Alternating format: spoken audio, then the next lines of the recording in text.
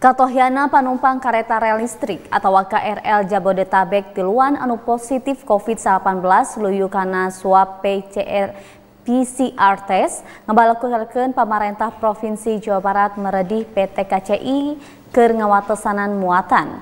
Samalah Pemprov Jawa Barat G masrahkeun hasil PCR tes Kemenhub sangkan prak-prakan kernying larsumbarna virus corona di KRL bisa diungkulan.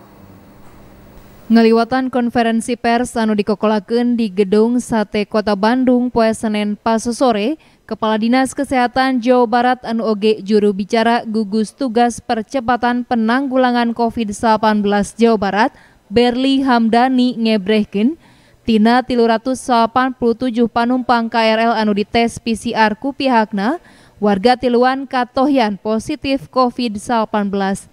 Kiwari eta kasus teh keur memejehna di ungkulan.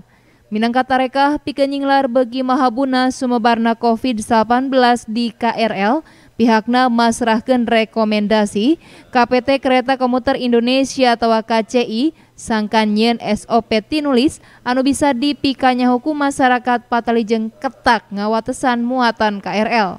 Ya, rekomendasi kepada PT KCI supaya membuat eh, SOP secara tertulis dan itu disampaikan kepada masyarakat sehingga masyarakat itu sudah teredukasi uh, semenjak dari rumah gitu ya Jadi mereka tahu bahwa kalau uh, penumpang di KRL tersebut sudah melewati batas tertentu maka penumpang yang lainnya itu tidak diperbolehkan naik.